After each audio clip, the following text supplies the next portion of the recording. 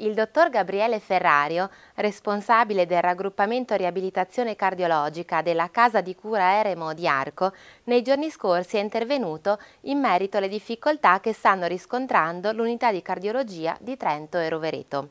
L'Eremo ha da anni nel cassetto un progetto di ampliamento che al momento appare complesso e difficile da realizzare la divisione di cardiologia del Santa Chiara ha avanzato l'idea di un sistema che all'occorrenza consenta di ampliare l'accoglienza dei pazienti nei cosiddetti momenti d'urto, ha dichiarato.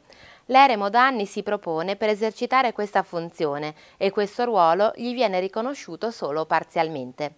Secondo Gabriele Ferrario, a mancare è il buonsenso. Ci si dica allora in che cosa la struttura è carente, commenta, e ci vengano forniti gli standard di qualità. Se si tratta di una questione di costi, la giornata di degenza all'eremo non costa nulla di più di quella di degenza in ospedale.